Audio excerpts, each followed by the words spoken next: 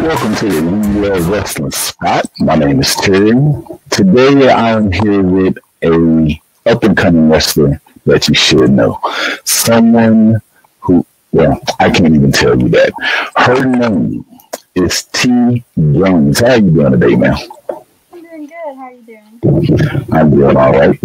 Um, the first question I always ask, and thank you for giving us this time, is what started your love for wrestling and why you love wrestling?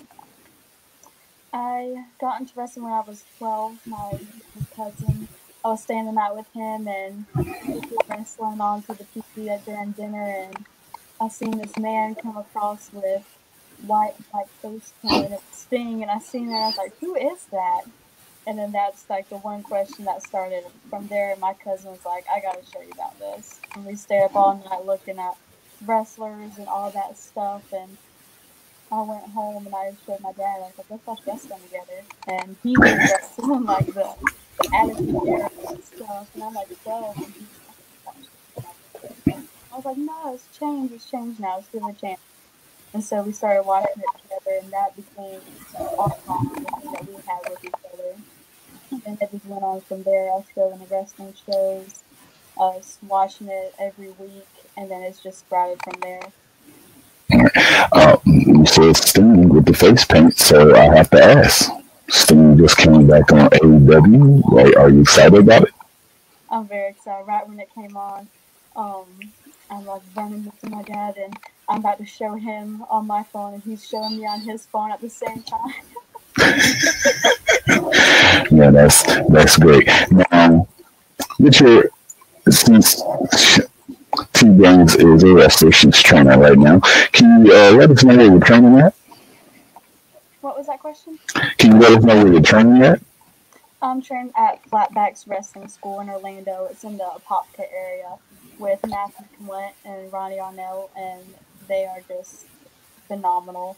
Um, I tell everyone about Flatback and how great it is, and some of them is like, well, you've only been to one wrestling school, so how can you compare it like to others? And I just found that that experience was just amazing. How hands-on they are, no matter how many students they have, they're always one-on-one working and tailoring to every student there, and just the atmosphere of being comfortable and knowing that you're safe and that you're in good hands as your coaches and trainers. Okay. Um, so, how did you get interested? What's your background? Um, I started weightlifting in middle school in seventh grade. Um, I was doing push-ups one day in PE, just ordinary push-ups, and my teacher came up to me. He's like, "You ever thought about doing weightlifting?" I was like, "No," but I went on to the team and I did some competitions. I was kind of in and out of it since I was still young. And then I got really dedicated in high school. And in my senior year, I won state for girls weightlifting.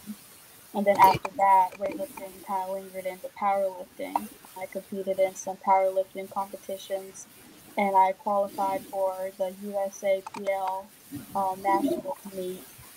And I had everything booked and ready to go, but there was just something in my heart. I was like, I'm, I don't want to be a powerlifter. I knew my dream was always to be a wrestler, and I already had the tickets and stuff booked for me to go to this powerlifting meet. And then I just sat my dad down one day, and I was like, I, I need to go to Orlando. I need to go to Flatbacks. so you, you had tickets purchased and everything for this weightlifting competition, but you said, I want to follow my dream and actually become a wrestler. Mm-hmm. Oh, that's great.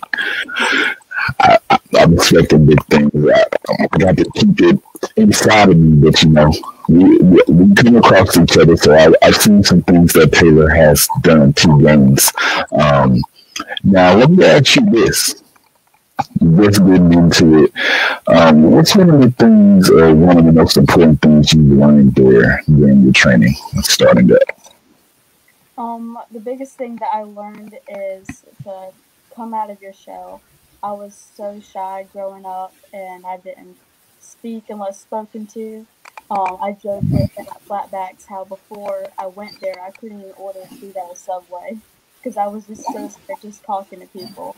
And so they, the biggest thing I learned was to come out of your shell. Don't be afraid to put yourself out there. Don't be afraid of looking dumb or stupid. Just be genuine and be yourself.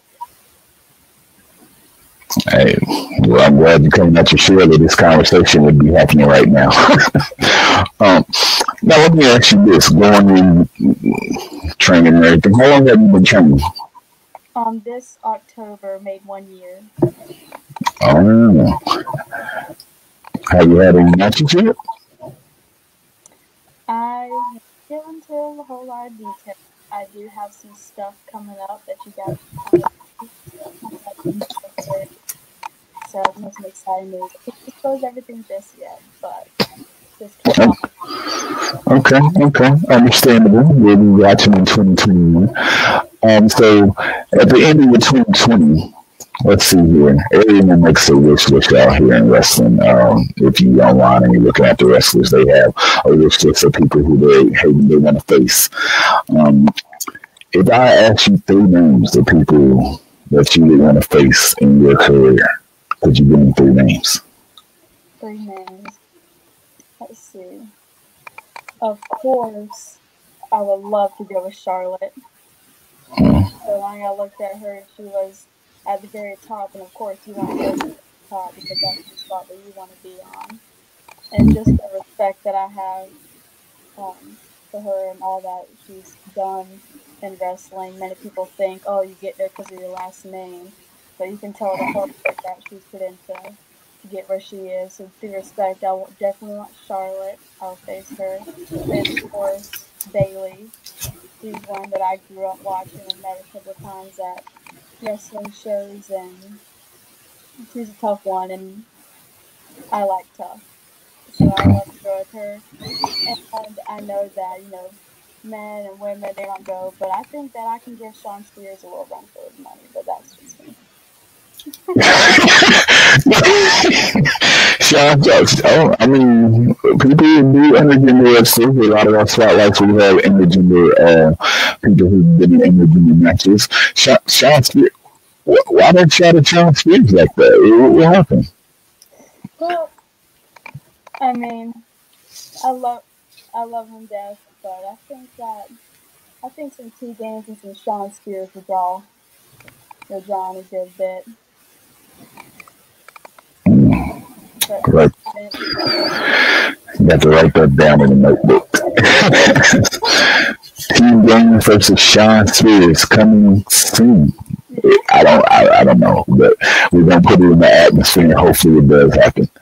Um, now, now let's go back. You, you said you saw some Sting growing up. Um, were there any other wrestlers that came out to you besides Sting? Um, what was that? Any other wrestlers growing up? Yeah, any other wrestlers besides Sting that um growing up that you liked? Yes, um, Paige was a really big influence on me in getting into wrestling. Um, I loved her just because she just had that dominance. Like when she stepped in a room, she just caused people's attention to look at her. Um, he just has that stage presence of toughness, and I related to that through my weightlifting and powerlifting. Like when I stepped on the platform, what I did eyes attention, and I felt confident, and I could see the confidence in her when as she was going to the ring. So I was very drawn to her, and I actually my ring gear is kind of inspired by gear that she's had in the past. So I definitely saw off from Paige. Mm. Can't wait to see it. Can't wait to see it. um, so so hard heading things in. Um, so let me ask you this: 2021. Mm-hmm. There is a lot of things that are going on in 2021. Mm-hmm. Now, you're in the Florida area, but you plan to, I like to say this thing about no boundaries. You plan to excursion out of Florida and go into other areas so people can get to know you? Yes, I'm definitely down for the travel. That's one of the greatest things I think is about wrestling is how it's not just tied to one area that they go all over the world to reach and connect with people and that's very exciting because I live on a farm in very town. So I'm excited to get out there and travel wherever wrestling wants to take me. Now, this is the time right now for women's wrestling where a lot of a lot of women's promotions are coming up. A lot of chances out here. I think you're a star. I believe you're going to be a star. Um, so I, I, can't wait to see the more things that happen. But what we're going to do here, because we're just going to call this a short, because we're going to bring Taylor back when we have um, Ashley from the Pretty Hills on and some things happen, and then we can give you more. But Taylor, what I do at this point is called a put yourself over moment. This is where you let everyone know your social media, if you have any t-shirts out there or anything you have going on that you want the people to know about to be able to support you. We just want you to put yourself over. Okay. Whenever you're ready. There's a difference between ordinary and extraordinary. And for so long, I lived in that little fine line in between. And it took grinding, it took cracking open that shell, it took pain and being broken to get me to where I am now. I'm not ordinary, I'm not in the middle, I'm extraordinary. And it took me a while for me to that myself, but I feel I never take guys to alone yourselves. I cannot wait to show the whole world who T Gain is. I figured out for myself. And through wrestling in the ring, I will let you guys know too. Let them know your social media also so they can start following you. Cause, uh,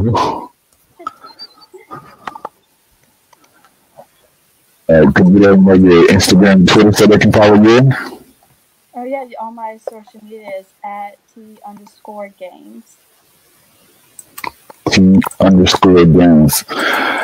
Listen, T Gainz, you are the first, well, second person. The first person was Baby B before her retirement match, but you came on and cut a promo. And that's really what the put yourself over moment is about. So I can't wait to see this journey here. And I, I like what you just did right there. Oh, gotta ask you one more question before we leave, though. Rock or Stone Cold?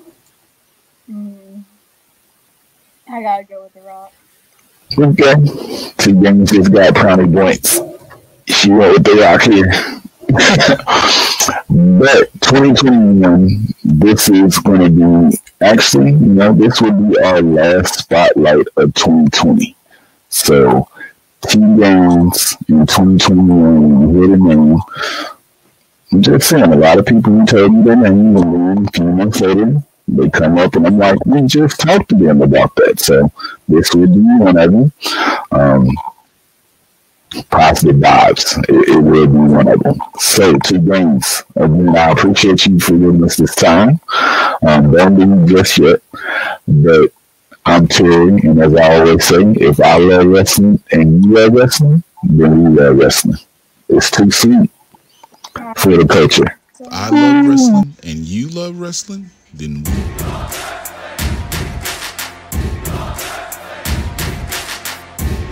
You're not here, you missing out. Is this show?